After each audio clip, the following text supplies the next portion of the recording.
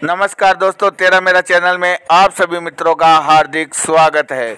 आज तेरा मेरा की टीम पहुँची है छापर वन विभाग, जहाँ छापर के समाज सेवी कन्हैयालाल जी स्वामी यहाँ पे उपस्थित हैं और उनके साथ उपस्थित है ऐसे व्यक्ति को हम आज आप दर्शकों को मिलवाना चाहेंगे, जो पूरे भारतवर्ष में कम से कम 200 पक्षियों की आवाज़ों की मिमिक्री ये करते हैं। उनकी आवाज़ें अपने मुँह से निकालते हैं। आज उनका परिचय हम जानना चाहेंगे। कन्यालाल जी, स्वामी से कि आप इनका परिचय हमारे दर्शकों को दीजिए। आप, देवेंद्र जी मिस्त्री है, उदयपुर से बिलोंग करते हैं और पक्षियों के बारे में जो इनका शोध है एक एक पक्षी पर तो वो वाकई काबिल तारीफ़ है। इन्होंने बहुत गहराई तक शोध किया है। उनका क्या कनेक्शन है? प्रकृति से, मानव से क्या कनेक्शन है? ये इन्होंने काफ़ी गहराई तक जाना है, लोगों को समझाया है। और विशेष बात ये है कि ये लगभग 200 पक्षियों की मिमिक्री कर सकते हैं। एक पक्षी कई प्रकार से बोलता है तो ये सारे वो बता सकते हैं, कैसे बोलता है, कैसे खुद बोल के बताते हैं। तो ये पूरे भारतवर्ष में मिमिक्री मैन के लिए जाने जाते हैं। ये आज यहाँ ताल छापर पधारे हैं। इनकी पर्सनैलिटी और इनका ज्ञान नॉलेज है, वो पक्षियों के बारे में विशेष है। मैं चाहता हूँ कि इनसे हम कुछ प्रश्न उत्तर करें, जिससे ये नॉलेज है, वो आप दर्शकों तक पहुँचे। सर्वप्रथम मैं स्वागत करता हूँ आपका। तो देवेंद्र जी, आपके बारे में कुछ बताइए, जिससे हमें थोड़ा सा जानकारी मिल सके। मैं ना तो साधारण रूप से काम करता हूँ। मेरा मशीनरी का वर्क्स था। मैं आम लोगों से थोड़ा ज़्यादा सेंसिटिव था। तो बचपन से ही मैं पहाड़ों या उसमें कंदराओं में या ऐसे में घुस कर के खेलने में ज़्यादा बिलीव करता था अकेले। तो मुझे मिमिक्री भी आती थी बचपन से ही। माँ बाप कहते हैं, आठ महीने की उम्र से मिमिक्री करता था। तो मैं ऐसे पक्षियों की मिमिक्री या जानवरों की मिमिक्री करता था, पहाड़ों में और उनके साथ खेलता था तो मुझे उनके जीवन के बारे में पता लगता था ट्रेस आउट हो जाते थे। तो धीरे धीरे मैं चूँकि उदयपुर रहा तो वहाँ पे टूरिज़्म और इको टूरिज़्म मुझे वो काफ़ी चीज़ें जानकारी थी। तो मेरे शौक़ और मेरी जो सेंसिटिविटी थी, लोगों से दूर रहने की, तेज़ आवाज़ों से या चकाचौंध से तो वो मुझे इस ओर प्रेरित करती गई और धीरे धीरे जब ये विकसित अवस्था में हुई, तब मैंने इसको अपने से आगे किसी के कहने पे, गुरु की चाहे वन विभाग के लोगों से मिला तो उन लोगों के दिशा निर्देश में फिर इसको कंजर्वेशन की ओर मोड़ा। तो कई प्रोजेक्ट लिखे, मैंने कई प्रोजेक्ट किए लेसर फ्लोरिकल से लेकर के सीता माता की तरफ़ एक्टिवेशन पक्षियों का पेड़ों से रिलेशन उनके हैबिटेट या उनके नेस्टिंग क्यों, किस तरह के खास पेड़ों में ही रहते हैं या कहाँ रहते हैं? ये सब अध्ययन उन उनके क्रियाकलाप है, उनका महत्व क्या है सृष्टि में या वो पर्यावरण में? उसका रिलेशन निकालने में मुझे मज़ा आता था।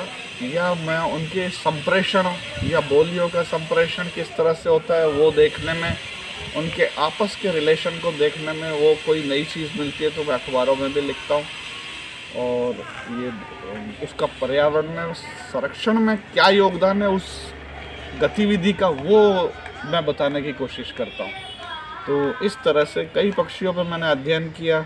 लगभग तेईस, जो जो मुझे खासियतें लगी, वो मैं लिखता गया। लोगों को बताया, जागरूक भी किया। कई लोगों ने फोटोग्राफी विधा को, चूँकि मेरे बोलने से पक्षी आ जाते थे उस ज़माने में तो उस ज़माने में फ़ोटोग्राफी के लिए मुझे ले जाते थे। अब वो स्थापित फोटोग्राफर और टूर ऑपरेटर हो गए बड़े बड़े चाहे वो पक्षियों के फोटोग्राफी हो, चाहे वो मैमल्स की फ़ोटोग्राफी तो एक तरह से पिछले पंद्रह बीस साल से इसको पक्षियों की वजह से जो टूरिज़्म आया, उसको बढ़ोतरी देने के लिए, केवल टाइगर से नहीं या उस पैंथर से नहीं सभी को देखना है। पक्षियों से भी क्योंकि ये रंग रंगीले हैं तरह तरह के इसमें एक रोमांच है इनको ढूंढना एक खोजने की जो प्रवृत्ति है वो सेटिस्फाई होती है। सर आप पूरे भारतवर्ष में मिमिक्री पक्षियों की मिमिक्री करने के रूप में जाने जाते हैं। हाँ। आपका चेहरा है वो चारों तरफ़ लोग यही देखते हैं कि हाँ, आप मिमिक्री बहुत अच्छी करते हैं। वो, वो तो मैं चाहूँगा कि आप कुछ पक्षियों की मिमिक्री करके हमारे दर्शकों को बताएँ। जैसे कौए से शुरू करते हैं।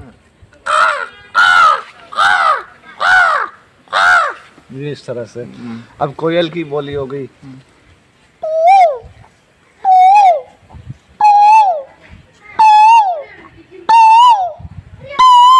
ये इस तरह। अभी जैसे शिकरा है। तो ये उसकी आवाज़ है। इसके अलावा जैसे ये बुलबुल हो गया। आप जैसे पीलक होते हैं या इस तरह के पक्षी ये फ्री पाई हुआ। ट्री पाई का सुनिए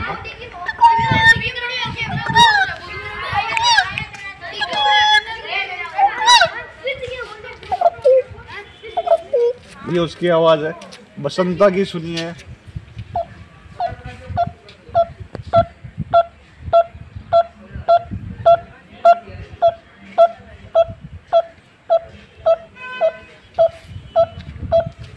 इस तरह से?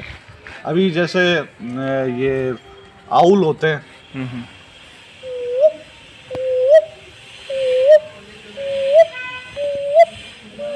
ये ब्राउन हॉक आउल है। इसी तरह से दूसरे जो है अ, जो गुगू होते हैं।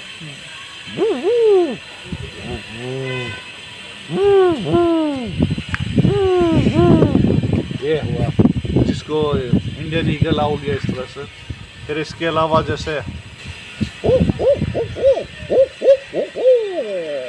ये बार्ड आउल है, जो यहाँ पे नहीं मिलता है। तो ये पक्षी जब मैं इनकी आवाज़ें सुनता हूँ तो इनके साथ जो बोलचाल करने की कोशिश निरंतर होती है तो उससे मुझे बड़ा आनंद मिलता है और इनकी गतिविधियाँ और ये समझ में आया कि हमारे अलावा इनके पास भी बोलियाँ हैं। बहुत कुछ ये समझते हैं।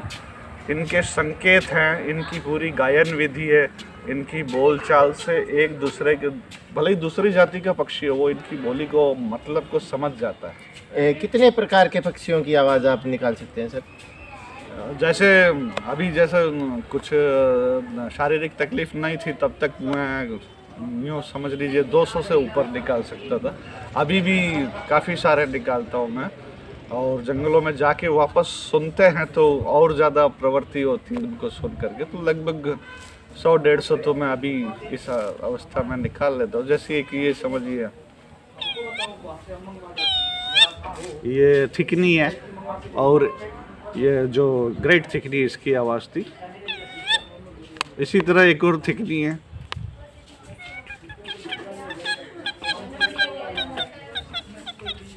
ये इंडियन थिकनी जो छोटी वाली है। उसी तरह से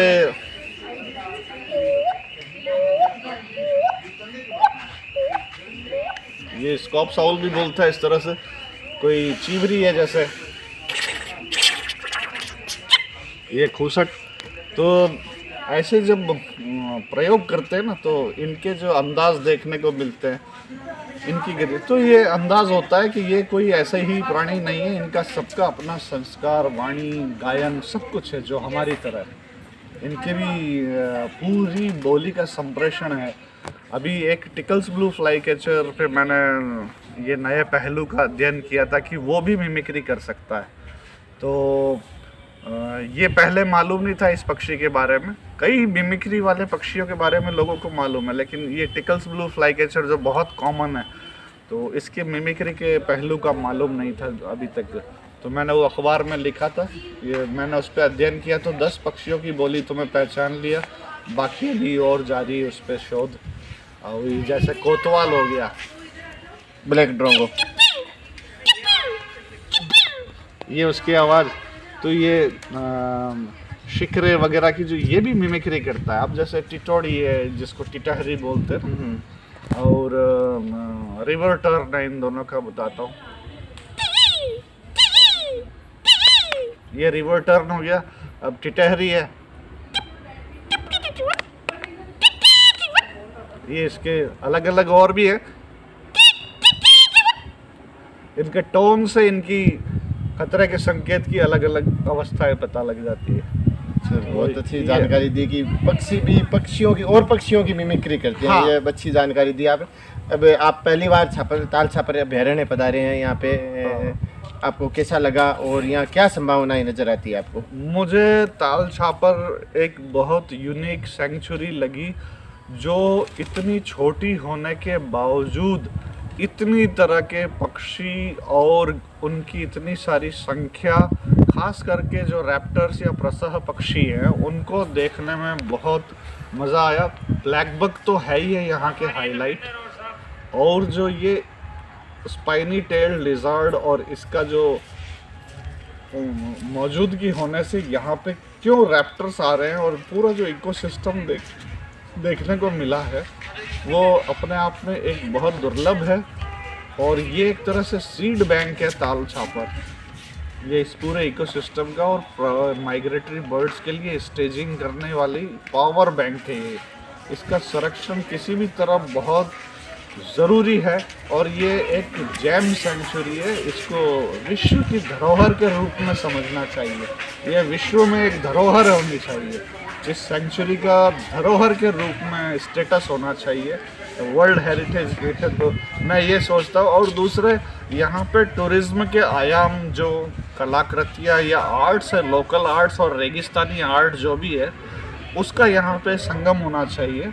और फोटोग्राफी के अलावा, यहाँ पे टूरिस्ट आए, उसके लिए रेलवे या रेलवे का, यहाँ पे रेगुलर रेलवे चलाएँगे तो थोड़ा ट्रैवलिंग का एक्सपेंस कम होगा तो यहाँ पे वॉल्यूम ज़्यादा आएगा।